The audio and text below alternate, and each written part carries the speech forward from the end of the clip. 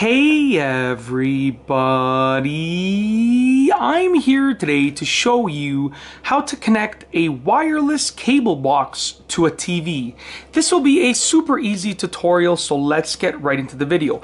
As you can see this is a wireless cable box. There's no coaxial cable that goes into the box.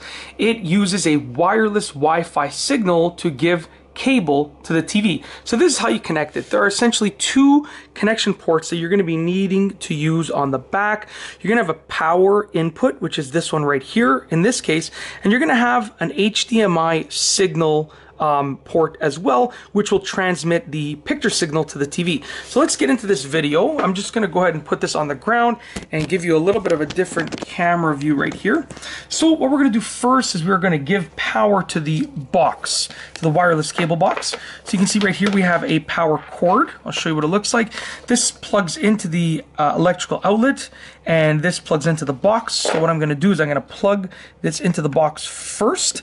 Then I'm going to take this and we are going to plug this into the electrical outlet over here. This is going to give it power.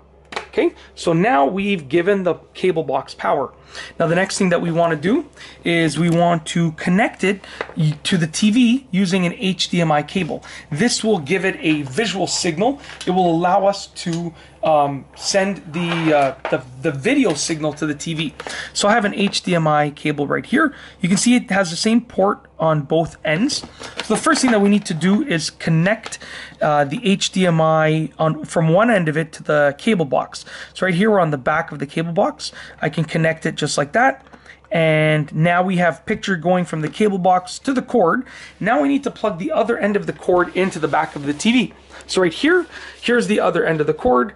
Uh, we go to the back of the TV and what you want to look for is very simple. You're looking for an HDMI in, so an HDMI input port. So you can see right here, it says HDMI in.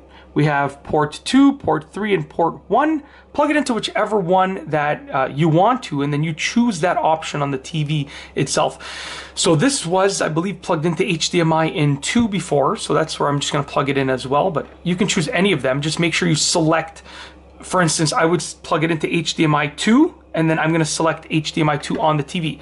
It only goes in in one direction, so just plug it in like that. Make sure it's nice and securely in there, and that's it. You're good to go. If you like this video, please be sure to give it a thumbs up. Let me know what you think down below as a comment, and of course, be sure to subscribe for more great videos just like this one. And that's all I have for you today. Thanks for watching.